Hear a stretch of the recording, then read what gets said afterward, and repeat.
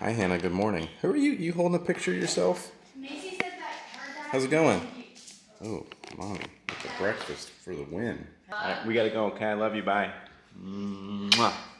Hey, you just changed. You ready to go? Love you. I know Macy said good luck. Love you so much. Mm-hmm. Hopefully, I'll see you Sunday. Love you. Love you too. Dang, we got in here just as it started raining, so good timing there. What's up, everybody? How you doing? Good morning. Welcome back to another episode. Kendall and I are headed back to the hospital for round four of chemo. Hopefully, just a couple of days. Supposed to be two days of infusions. Uh, both um, both days, I think it's 20 hours of infusions. So I think let's see. Today's Friday. Friday to Saturday, Saturday to Sunday. Sunday night, Monday, hopefully we're out of there. I don't know, we'll see. But Kendall is looking fly as always. So that's what we got going on, and hopefully we're not super late getting to the hospital with rain and traffic and all that stuff. Daddy, Yeah. why, why did they do a stem cell collection? Um, like why did they collect my stem cells and then and then they put it back into me? Uh, because you might need them later if you get sick or if they need to do other treatments, they'll, they'll use them and give them back to you to help make you feel better. I know. We made it to the hospital. Let me share something that's very frustrating with you guys. Uh, I have a very large truck, Chevy 2500, as you see. That's what we use. That's our tow vehicle for the RV and for road trips and stuff. This parking garage has very specific, oversized parking spots, and then there are people with Honda Accords and small trucks and little compact cars parking in the oversized vehicle area. It's very frustrating because then you have people like myself that have vehicles that are too tall to fit in the rest of the parking garage, or guys like that that have a roof rack and cannot get to the rest of the parking garage. Meanwhile, you've got CRVs in the oversized spots. Don't be that guy. Come on. Come on. All right, kiddo. You ready to do this? All right.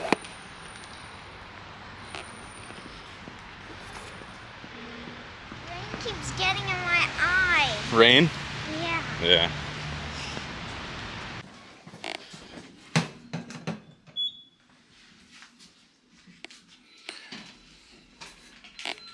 All right, so she's getting prepared to access Kendall's port. I showed you guys the port before, but this is like a it's like a needle that'll go into the port, and then there's what's the little foam thing? What do you guys call that? A bio patch. a bio patch which just helps keeps keeps things clean and sanitary is that absorb stuff is it like a sponge that's like meant to It's got chlorhexidine in it, Ah. so it's keeping the disinfectant right there on the site to prevent any bacteria sure from okay cool multiplying.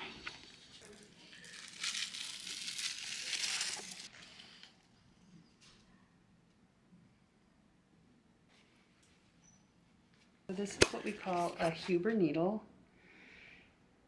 It very specifically has the correct angle that we need, and it is a non-coring needle. So instead of like a straw sticks into an apple, you'll you'll get a piece of the apple yeah in the straw. This has a very special tip that keeps it from coring out the inside of the port. interesting because the inside of the port is like a it's not silicone but it's Kinda- it- something that's self-sealing though right Yes, after exactly. each Exactly. each penetration of Mhm. it all right you're a champ You ready, sweet girl? Good job And perfect. What beautiful we're looking for. Here's Mr. Bio Patch. I'm gonna put my little wings down. The wings are just for me to hold on to. And this way a little bit.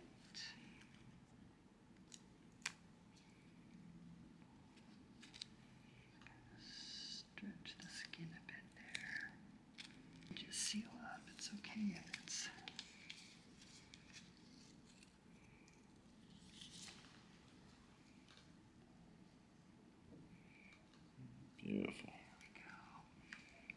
Trying not to get skin folds in there.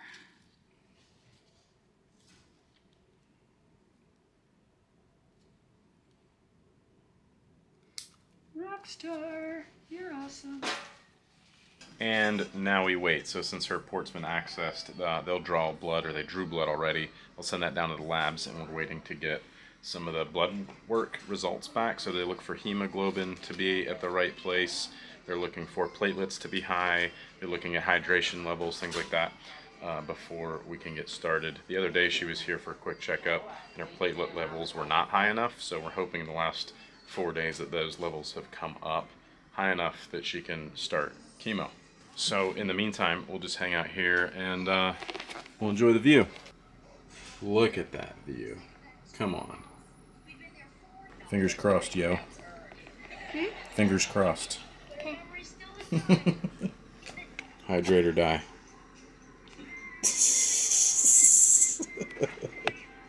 hey, Cher. What's up? You ready for St. Patrick's Day? She is.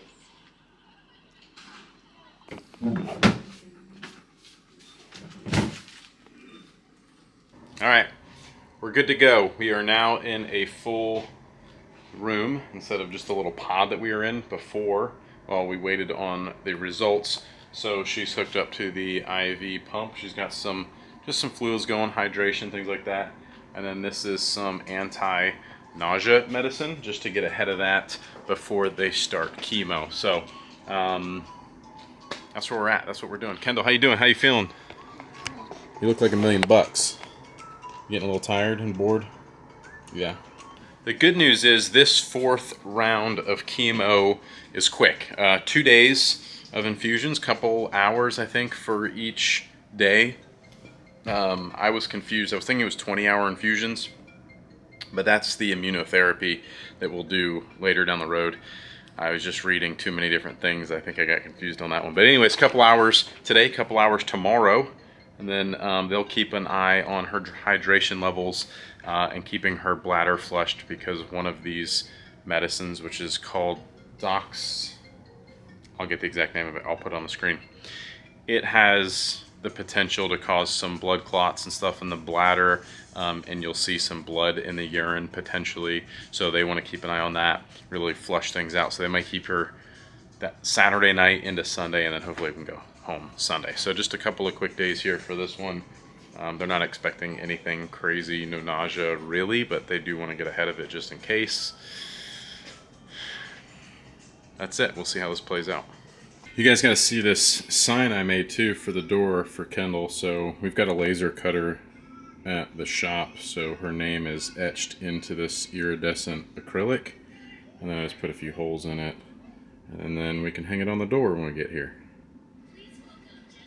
Pretty cool. So this doxorubicin is one that they referred to me once, and I think it's commonly known as the Red Devil. And when they told me that, I was like, you can keep that name to yourself. Um, I don't know why they call it the Red Devil. I don't really know that I want to know why, but that's what this is. Um, it runs pretty quick. If you guys have never seen the chemo, the first time I ever saw it, it was like this big. They and they obviously lots of different drugs and different doses come in different ways. Sometimes and it's it's in a more traditional IV bag like that, and other times it's just this. There's a syringe, but this is a very light, sensitive um, drug chemical in here, so they put it in this bag. But just a giant syringe in here, and this is just pushing it down, and then obviously through the catheter and into Kendall there. And I just remember the first time I saw them putting all that together and starting it, the feeling that goes through you as a parent as they start to uh, start to do that to your child. It's like a lot of anxiety around that one, but it was also like the necessary thing that you needed to happen to save your kid. So, anyways, the Red Devil. Tonight's dinner is brought to you by Moe's. Little Taco Friday action, thanks to DoorDash. The cafeteria is under some sort of construction, and they've got a very limited food selection down there, a bunch of snacks and drinks, but then at lunch, it was like chicken fingers and french fries was your only option. And they stopped serving at 4, I think, 4, 4.30. So DoorDash was kind of the only option. So tacos it is. Kendall, what'd you get? Quesadilla? Quesadilla. Mmm. Good morning. It's uh, about 9.30. It was a long night last night. A lot of fussing around. They're having issues with Kendall's port and the flow uh, through the line into the port. And um, they kept, they ran at midnight, having issues with it, trying to flush it out. Uh, and then at 3 or 3.30 or so, they decided to take the dressing off of it and redress it because they thought it was like pulled at a weird angle and it was messing with the flow of it or whatever. So they got that squared away. It was kind of a pain to deal with, but it wasn't like painful or whatever. It was just like annoying, really. So got that squared away. That's all good. Flow seems great. They tested things again this morning. No issues there. So all good in the hood. Kendall is sleeping back there, just waking up, it looks like. Good morning, beautiful. How are you? Sleepy. Can I see your port? Let's take a look. Yeah, looking good.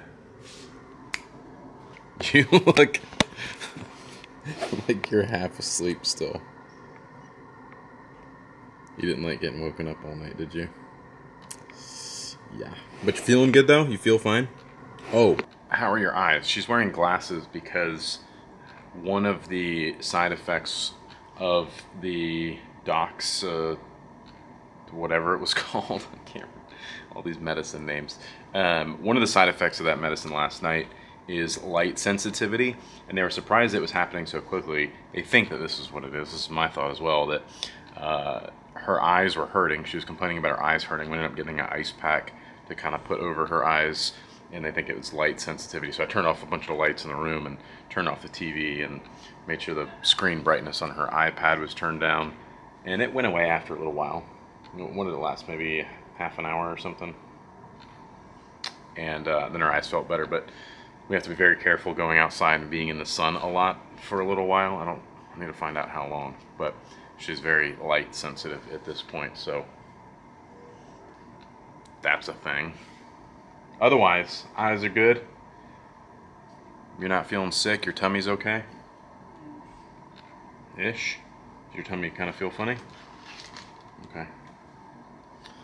Um, yeah. That's where we're at right now.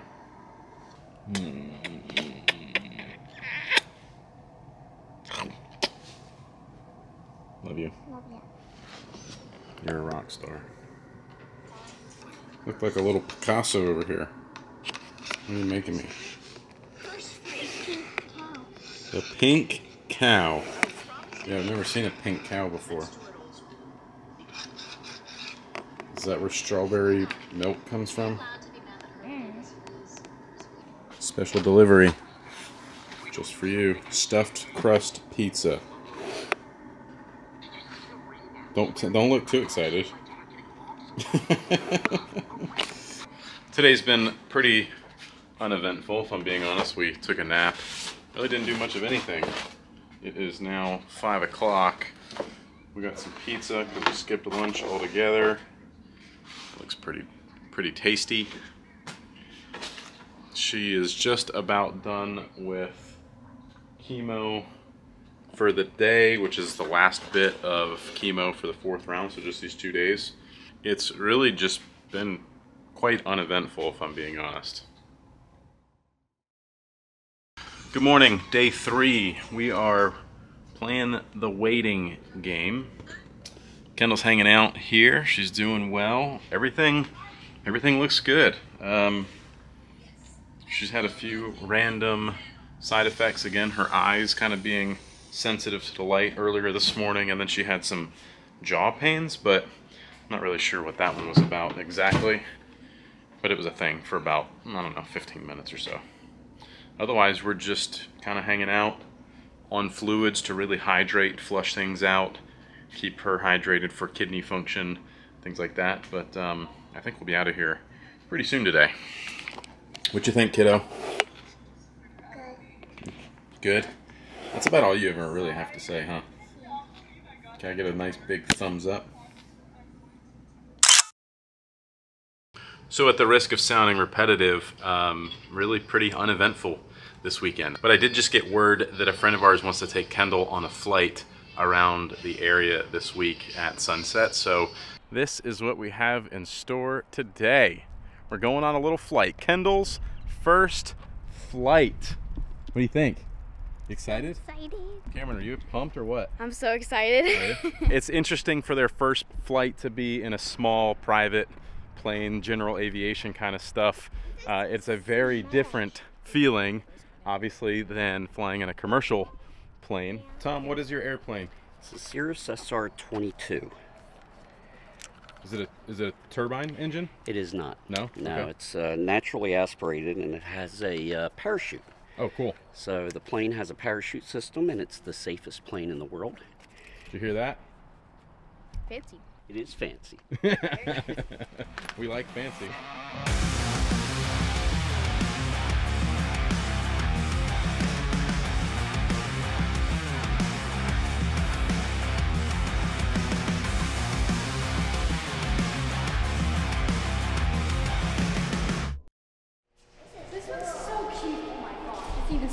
Daddy. So small. What do you think about that one? That's like a Kendall sized plane right Oh there. yeah. Yeah. When Kendall's older, she'll be she'll That one's bigger. It'll just be pink and sparkly. That's all. So echoing.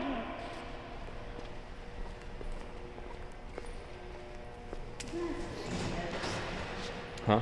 Tom's the kind of guy that I want to be like when I grow up. There's about three or four of these kinds of guys. Uh, I'm a, I'm an aviation like freak, Tom, but really I want a helicopter, Oh, I do too. like badly. All right, quick little safety inspection, and then uh, then it's time to hop up in this bad boy. You guys ready? Ready to go flying? Ready to get in the air? Ready, Freddy? Get airborne? All right, let's go. You can go ahead in there. You're going to put those headphones on your lap. All right, step right in the middle. There you go. There you go, honey.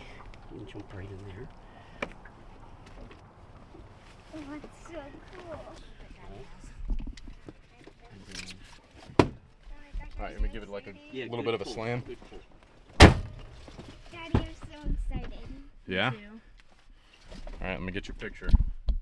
You pumped or what? Yeah. So excited.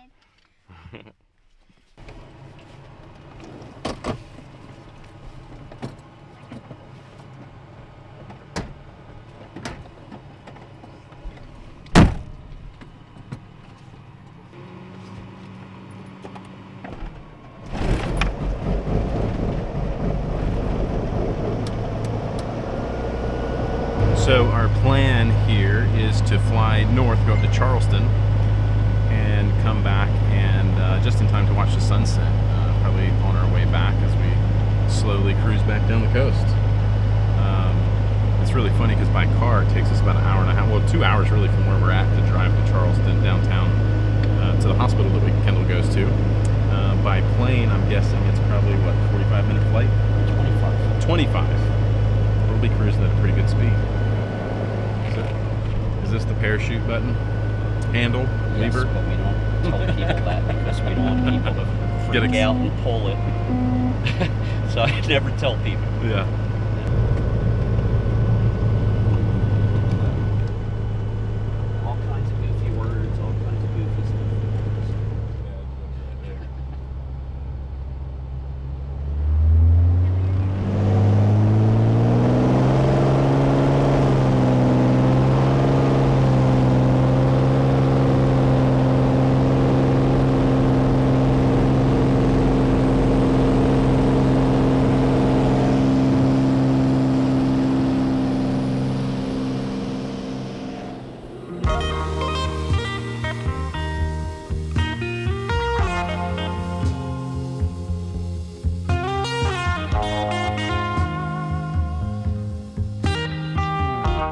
Guys are watching this amazing flight, let me fill you in on a few things.